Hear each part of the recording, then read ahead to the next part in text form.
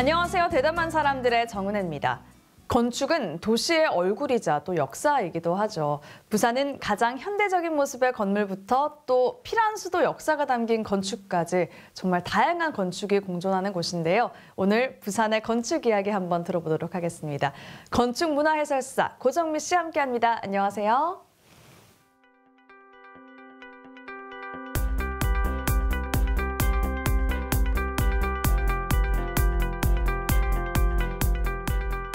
제가 건축 문화 해설사라고 소개를 했는데요. 어떤 직업인 건가요?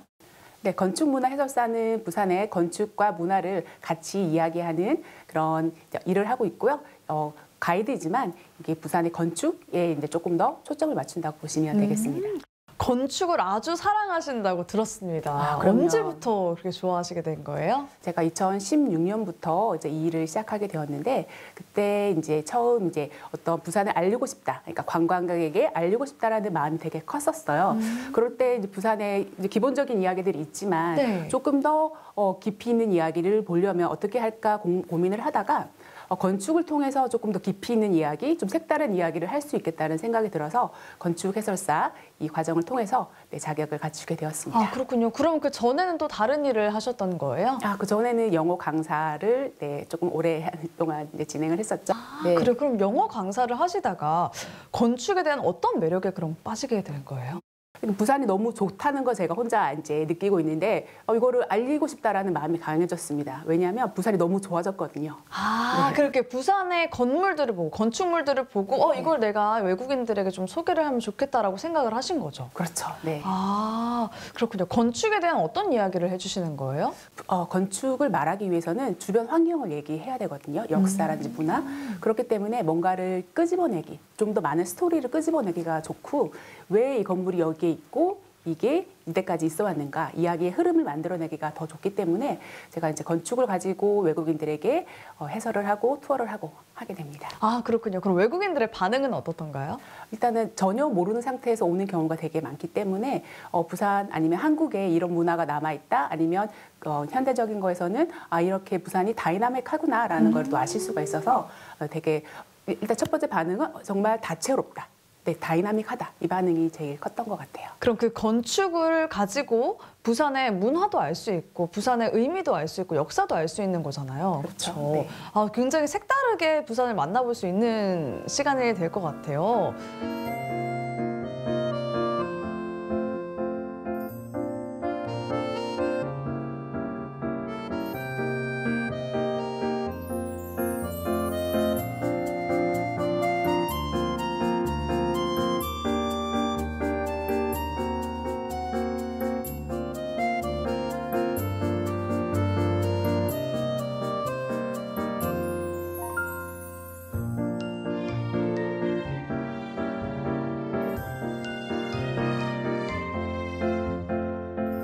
이렇게 부산에 좀 이색적인 건물이나 아니면 이렇게 스토리를 담고 있는 건물이 있을까요?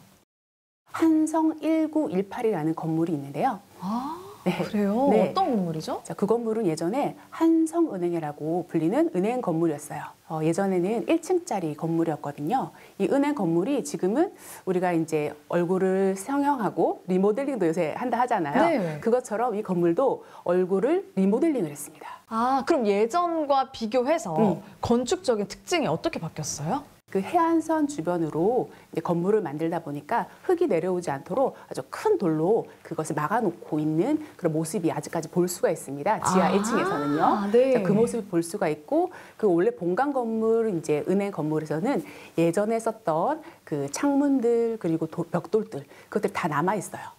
그래서 우리가 그냥 지나가면 그 건물이 옛날 건물인지 사실은 모를 수 있지만 그 기본적으로 1층 자체는 예전에 있던 그 모습 그대로 음. 남아 있기 때문에 네. 어, 이제 일반 시민들이 지나가시다가 충분히 들어가셔서 그 둥그런 기단도 보실 수 있고 그리고 내부에 있는 모습까지 벽돌의 모양과 그리고 크기까지 다 한번 재보면서 어, 새로운 경험을 한번 느끼실 수도 있을 것 같아요.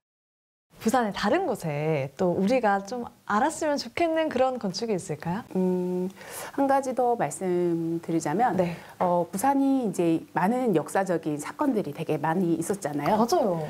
어, 우리의 이제 약간 아픔의 역사가 있었던 곳이 여기 대연동 쪽에 올라가시게 되면 어, 일제 강제동원 역사관이 있어요. 네. 그래서 위치적으로 조금 외진 곳에 있어서 어, 많은 분들이 잘 알지는 못할 수도 있습니다. 네. 하지만 이 일제 강제동원 역사관의 그 외면을 보고 내부에 들어가시게 되면 부산이 가- 겪었던 그리고 한반도가 겪었던 일제 시대의 음. 그런 아픔들을 느낄 수 있고 건축을 통해서 그것을 오롯이 느낄 수가 있어요. 어떻게 느낄 수 있죠? 건축이 어떤 특징이 있나요? 자, 일단은 일제 강제 동원 역사관. 이름에서 느껴지는 느낌이 기쁘진 않잖아요. 뭔가 강제로 동원이 네. 됐다. 네. 그죠? 자, 그런 이 느낌들이 건물 바깥에서 드러나는데 그건 뭐냐면 건물이 일반적으로 뭐 네모나게 이렇게 직사각형으로 되어 있다면 그 건물이 매끈하면 별 의미가 없습니다. 우리가 받은 상처들, 이 상처들이 이렇게 상처가 난 듯이 건물에 이런 상처의 모습이 보여요. 아 그래요? 네. 그래서 약간 칼로 베인 듯한 그런 모습이 건물에 보이고 있고요. 원래 그렇게 건축이 되었던 걸까요? 아니면은 그게 음. 시간이 지나면서 그렇게 상처가 난 모양처럼 된 걸까요? 상처는 의도된 거죠. 의도된 네, 거예요? 의도된, 의도된 건축입니다. 그렇군요. 그래서 그곳에 갔을 때 또 이제 필로티라고 이제 1층이 이제 기 높게 어, 비워져 있는데 밑에가 비어져 있고 위쪽이 또 높아요. 그러면 위에서 밑으로 내려오는 듯한 뭔가 억압을 하는 듯한 느낌이 들어요. 아 그래요? 그것도 다 의도인 거죠. 아. 네. 그래서 겉면에서 봤을 때 겉면에 난 상처, 음. 이 자국 그리고 위에서 내려 든 내려 뭔가 내리는 이런 중압감 이런 것들이 겉면에서 저희가 느낄 수가 있고 음. 또 내부에 또 들어가면 내부 나름대로의 어, 의도된 이, 이 내용의 이 컨텐츠에 따라서 의도된 조명, 사운드 이런 것들이 어, 전체적으로 외관뿐만 아니라 내부까지 다 함께 느낄 수가 있으실 것 같아요.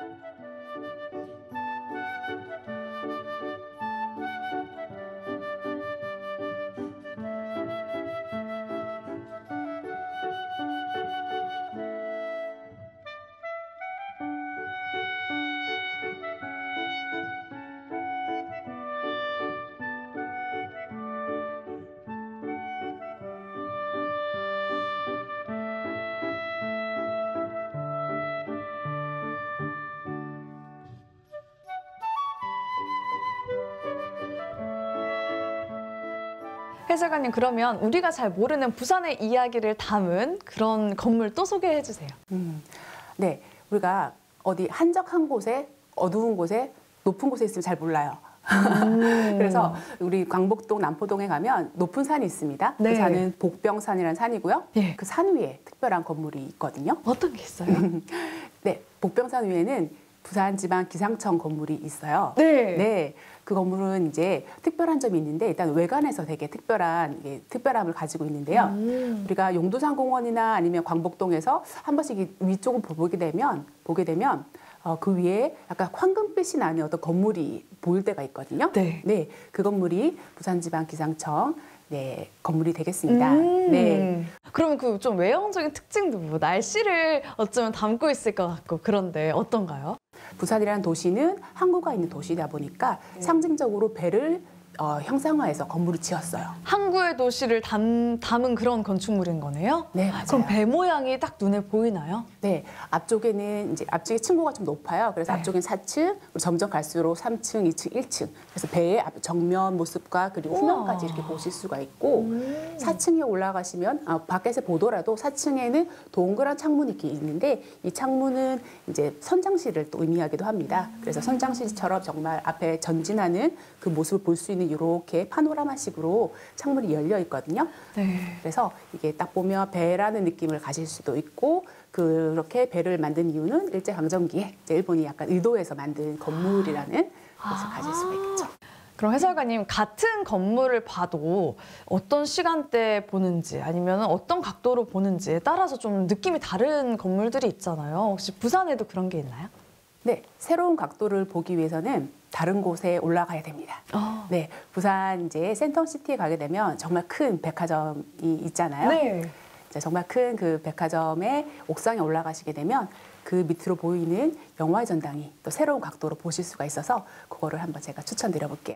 어떤 모양으로 되어 있는지 살짝만 알려주시면 안 돼요? 그 영화의 전당이 줄임말이 이제 어, 영화의 전당이 부산국제영화제가 열리는 주 이제 장소잖아요. 비프. 그렇습니다. 그래서 BIFF 네. 이게 태양과 패널로 이렇게 만들어져 있어요. 그래서 아, 이곳이 BIFF 아. 부산 국제영어제가 열리는 공간이다라는 것을 우와, 아실 수가 그거를 있죠. 그럼 위에서는 보이는 네, 거네요. 그 그렇습니다. 밑에서는 못 보였던 그런 네. 비프라는 글자가 네. 위에서는 보이는 거군요. 네, 맞습니다. 어, 신기하네요. 그러면 해설가님이 개인적으로 굉장히 좋아하는 그런 부산의 건축물이 있나요? 어, 제가 종교는 사실은 무교라고 말할 수 있는데 그 종교 제가 좋아하는 건 종교 건물이거든요. 어, 많은 분들이 잘 모르실 수 있어요. 성공회 교회, 성공회 성공에 들어봤어요. 들어보셨어요? 네. 이제 우리 성당도 있고 교회도 있고 하잖아요. 네. 성, 성당과 교회가 약간 이렇게 섞여져 있는 음. 네, 그런 종교라고 볼 수 있는데 어, 여기 원도심의 어, 큰 도로 대청로 바로 뒤에 있는 작은 골목에 숨겨져 있거든요. 유럽식의 건물을 보실 수가 있어서 어, 아마 어, 이런 게 여기 있었나라는 생각을 아마 하시게 될 것 같아요.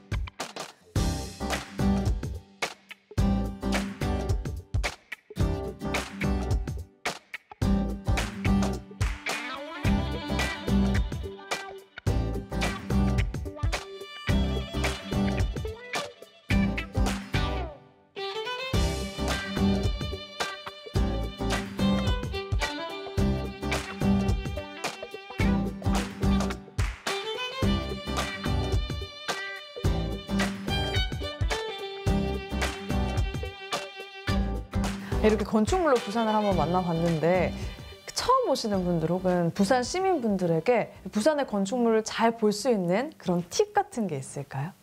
네, 부산은 동쪽과 서쪽이 전혀 다른 상반된 그런 모습을 볼 수가 있거든요. 음. 많은 관광객분들이 가는 그 동쪽은 해운대가 되겠죠. 해운대 지역은 정말 높은 건물들 그리고 기네스북에 올라 있는 이 건물들 다양하게 이렇게 있잖아요. 네.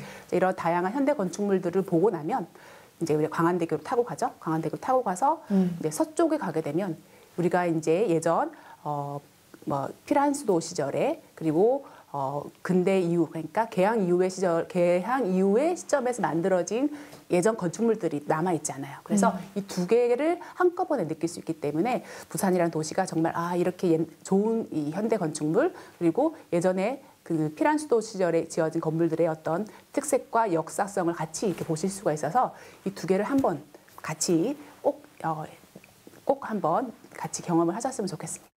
어, 그럼 앞으로의 해설가님의 또 목표도 궁금한데요. 네, 제가 이제 건축 해설을 이제 시작하면서 부산을 좀 더 잘 알리고 싶다. 부산의 숨겨진 이야기를 좀 더 얘기해주고 싶다라고 생각을 했습니다. 그 네. 매체가 건축이었고요. 어, 건축 해설 투어도 물론 하지만 또 다른 이제 왜 투어를 만들 때 건축과 관련된 투어들을 만들고 있기 때문에 부산을 좀 더 알아가는 그런 기회를 많이 가졌으면 좋겠습니다. 이 건축을 통해서 부산을 만나본 게 정말 전 처음이었거든요. 이런 이야기를 처음 들었는데 정말 흥미롭고 또 다른 매력을 또 느낄 수 있었어요. 이번 주말에 아마 이 시청자분들도 이렇게 부산 건축물 보면서 또 다른 매력을 느끼면 좋지 않을까라는 생각이 들었습니다. 오늘 이야기 정말 즐거웠습니다. 고맙습니다. 감사합니다.